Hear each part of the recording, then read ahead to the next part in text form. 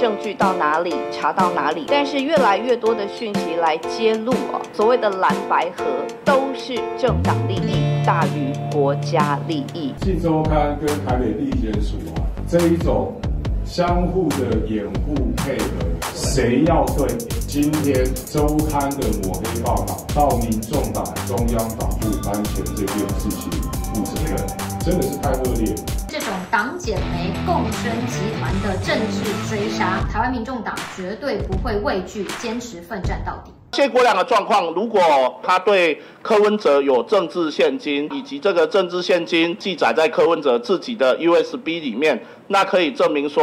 哎，事实上蓝白从过去就是有这样合作的默契了。我觉得减掉在侦办这案的时候，谢国良的这个两百万，他们会选择在罢免结束之后。才进行传唤。如果是这件事情是真的，那应该要给北检适度的肯定。呃，我们还是尊重呃侦查不公开。那我们希望检调都是证据到哪里查到哪里办到哪里，勿往勿纵。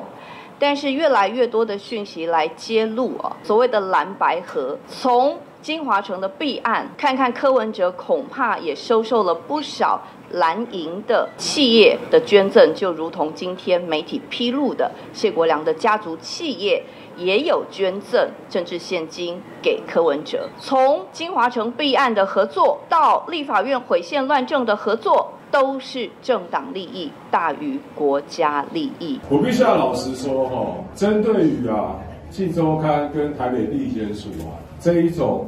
相互的掩护配合。泼脏水的行径啊，真的是让人完全无法接受。我今天看了今天的报道，我只想问一句：谁要对今天周刊的抹黑报道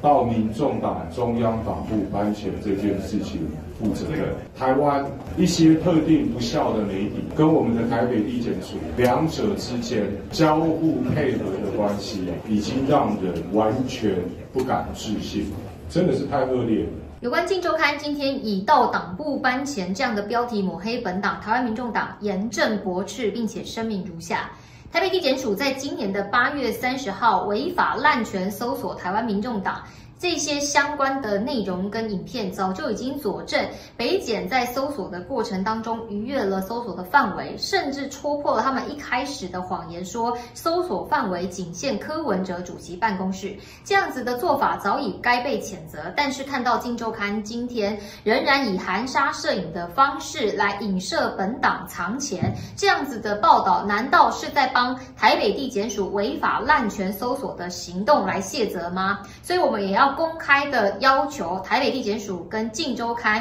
说清楚、讲明白，谁该为这样子的不实指控跟报道来负责。而从上个礼拜开始，台北地检署就已经声明许姓女子的身份有待厘清，但是我们还是可以看到，媒体仍然以不实的指控对相关当事人进行人格抹煞。你就可以看得出来，台北地检署长期配合特定媒体泄露不实的讯息，甚至以简连口吻来进行报道，事后再以不以证实来唱双簧，这样子的做法可笑至极。而北姐在侦办金华城的过程当中，跟金华城有关无关的相关人全部约谈到案。本党基于公民义务，全面配合调查。但是这种党检媒共生集团的政治追杀，已经对于想要投入第一线公众服务的党职人员，遭受到不平等的对待，甚至。滥权打压台湾在野党的生存空间，破坏台湾民主法治的发展。面对这样国家机器的打压，台湾民众党绝对不会畏惧，坚持奋战到底。